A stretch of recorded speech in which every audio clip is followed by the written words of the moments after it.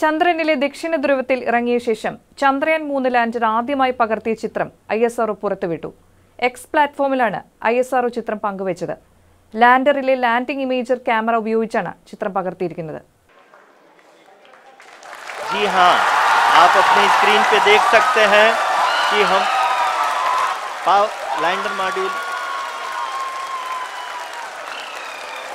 People are applauding. Let us all wait to hear from the Secretary Department of Space and Chairman ISRO, Sri S. Somnath. Lander module puri Chandrayaan മൂന്നിറങ്ങിയ സ്ഥലമാണ് ചിത്രത്തിലുള്ളത്. പേടകത്തിന്റെ ഒരു കാലിന്റെ നിഴലും ചിത്രത്തിൽ കാണാൻ കഴിയും. പാറകളില്ലാത്ത താരതമ്യേന പരന്നു കിടക്കുന്ന പ്രതലമാണ് ചന്ദ്രയാൻ മൂന്ന് ഇറങ്ങുന്നതിനായി തെരഞ്ഞെടുത്തത്. നേരത്തെ ചന്ദ്രനിൽ ഇറങ്ങുന്നതിന് മുൻപ് ചന്ദ്രയാൻ മൂന്ന് പകർത്തിയ ചിത്രങ്ങളും ഐ പുറത്തുവിട്ടിരുന്നു. ചന്ദ്രയാൻ മൂന്ന് പേടകവും ബംഗളൂരുവിലെ മിഷൻ ഓപ്പറേഷൻസ് കോംപ്ലക്സും തമ്മിലുള്ള ആശയവിനിമയം സ്ഥാപിക്കപ്പെട്ടതിനു ശേഷമാണ് ഈ ചിത്രങ്ങൾ ഭൂമിയിലേക്ക് അയച്ചത്.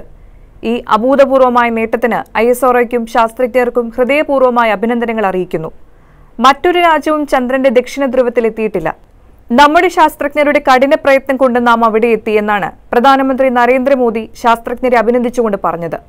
ഇന്ത്യൻ ബഹിരാകാശ ഗവേഷണ ചരിത്രത്തിലെ സമുജ്വലമായ അധ്യായമാണ് ചന്ദ്രയാൻ മൂന്നിന്റെ വിജയകരമായ സോഫ്റ്റ് ലാൻഡിംഗ് എന്ന് മുഖ്യമന്ത്രി പിണറായി വിജയൻ പറഞ്ഞു